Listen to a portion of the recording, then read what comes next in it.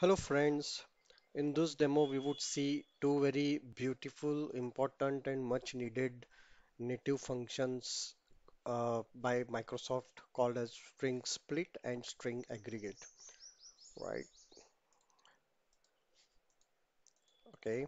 So as as per you know as per usual agenda we would see first just you know a little bit we would understand what is string split, then we would see what is string aggregate and then a practical demo So string split, applic this is applicable to SQL 2016 and later, Azure SQL database, and uh, manage instance and Synapse Analytics.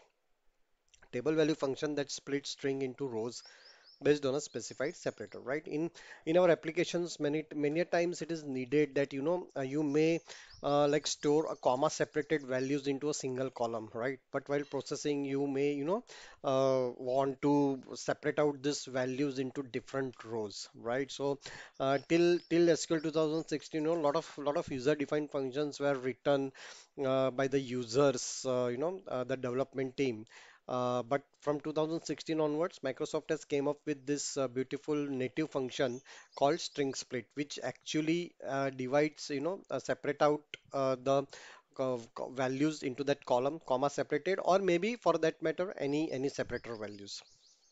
And similarly, many times it is needed that you want to show, uh, you know, uh, the values of uh, different rows as a comma separated values into single column. So where, you know, uh, that's where the string aggregate aggregate uh, comes into the picture. So Microsoft has come up with this string aggregate function from SQL 2017 and later. It is also applicable to Azure Azure SQL uh, databases, manage instance, and Synapse Analytics, right?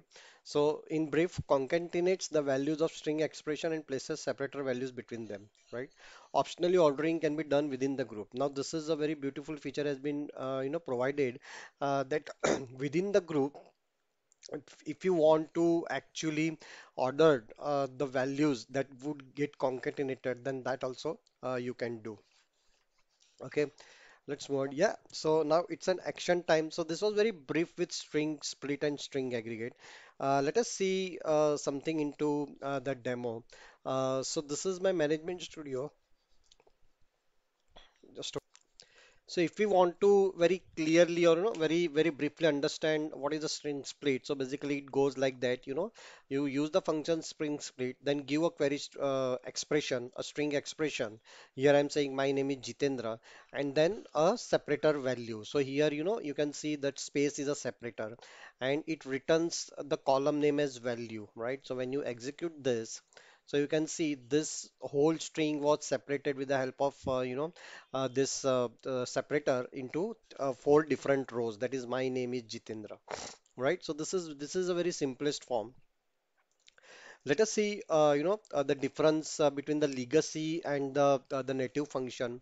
Okay, so let me create one table. I have created this table and I have input, you know, inserted some values. So you can see here for HR, you know, I have actually comma separated the values, different uh, employees for HR like Vipul, Rajesh, and John, and for marketing, for IT and sales, right? Now I want, so this is basically, you know, uh, th this type of data is be generated. Now I want that, you know, I want to separate out this with each row, like, you know, HR Vipul, HR Rajesh, HR John, and so on. So earlier, uh, before 2016, you know, uh, this is one function. Now this is not only the function. There, there can be several different ways uh, that can be, uh, you know, used to separate out these uh, values from a single column. But all are called in user-defined function. So you will have to write an user-defined function. So this is uh, one such function. Let me create a function first for you. Okay, function is created. And now uh, let us see. So if you can see here, this split string function is created and I'm using this sp- split string. And in another query, I'm using this string split where, you know, from the employee table, I'm passing these employees. So if you can see here, our employees is the column name. So here in string split, what I'm passing employees so that you know, and what is the separator between the two values? It is a comma, right? So when I execute this, you can see that you know it has been actually created into separate rows like HR Vipul, HR Rajesh, HR John, and so on. And similar would be done by a string split also. S- Oops, sorry.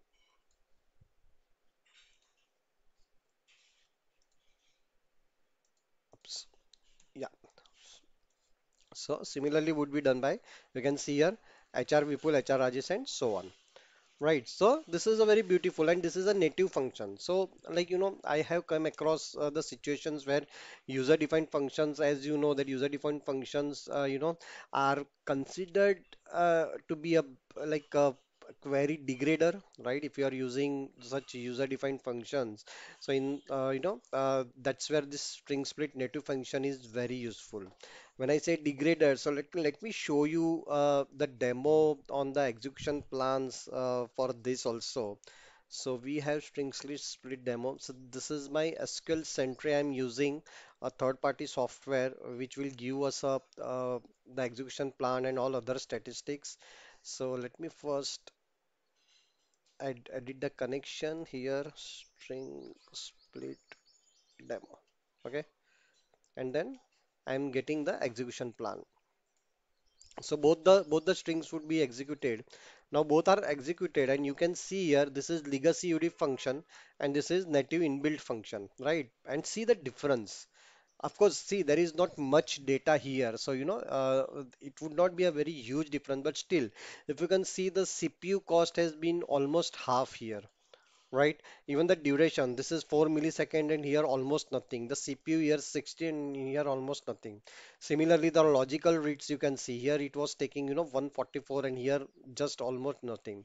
So this is this is a basically huge improvement, you know, uh, you know using the string split compared to the uh, string uh, the net uh, user defined function okay so this this is what you know uh, uh, the improvement has been done and that's where you know I recommend uh, going forward or even you know changing this so that you know all your queries would get uh, enhanced like anything. So whenever wherever you are using this uh, user defined functions to actually separate out this uh, you know values from a column so instead of using uh, user defined function just use the string, string split now similar is the uh, string aggregate. So let me again create drop and create the uh, table. So table is created.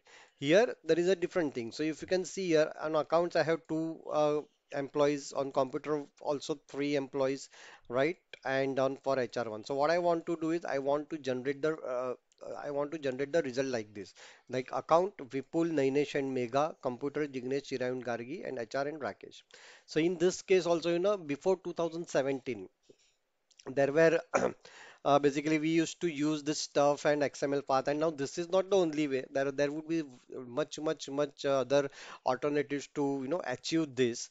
Uh, I'm just showing this is the this is one of the way legacy way, right? So when I'm when I execute this here, you can see whatever we needed we we got like Vipul Nainesh and Megha for computer Jignesh, Chirayu Gargi and even the implementation, can you see here? We will have to write this much code to generate this. And compared to that, just use this string aggregate compared to this user-defined way, right? Just string aggregate, pass the employee, uh, the column name, a separator, and that's it. That is done. So if you can see here, the same result has been generated for both. Can you see here? We Vipul Nainesh Megha, We Vipul Nainesh Megha.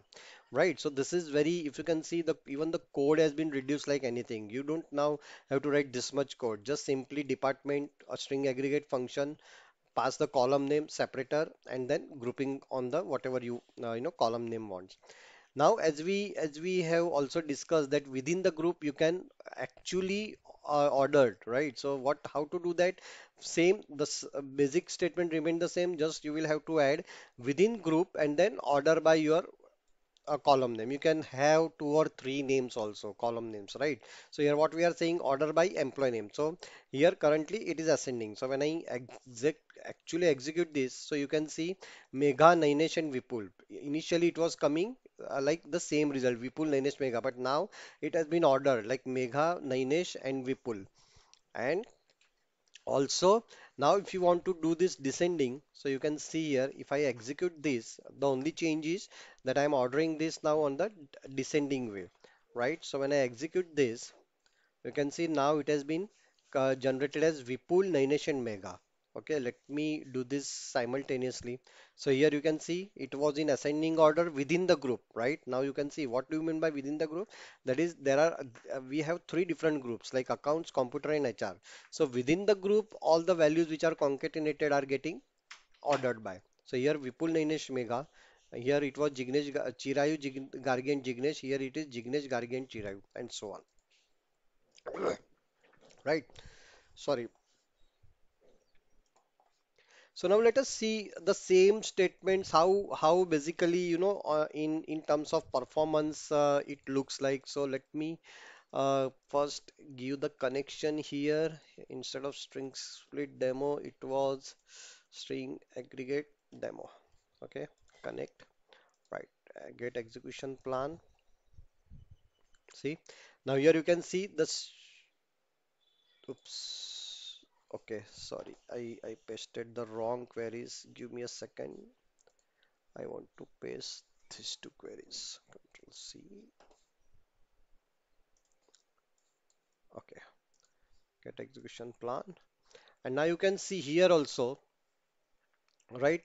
Uh, the estimated CPU cost is very less. Of course, the CPU for the first time, you know, it shows that it has an increased CPU. Let me do it again. Now you can see here, right? But the main is the CPU cost. If you see string aggregate, right, it is again the half of that. Even the table scan, can you see here in in the legacy way, the table can scan were two, but in case of string aggregate, the table scan only one table scan is happening. Even the logical reads are reduced like anything. You know, in the legacy it was 12, and in the uh, new uh, function string aggregate they are three, right? So these are these are basically you know uh, actually the data is not there. So we we would not make but of course uh, you know uh, still we got some difference. Uh, but uh, believe me then when you are actually working on a very uh, high volume of data then it would surely matter using the user defined function compared to this native functions whatever it is like string aggregate or string uh, split right so yeah, this was a very short one. Uh, that's it uh, for today.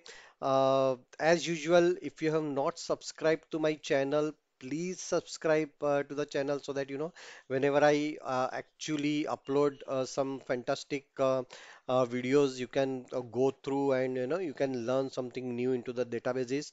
Along with that, please don't forget to like and share if you you know like this video. Please like share and even comment you know if anything needs to be improved please comment so that you know I can take care of that in my upcoming videos right?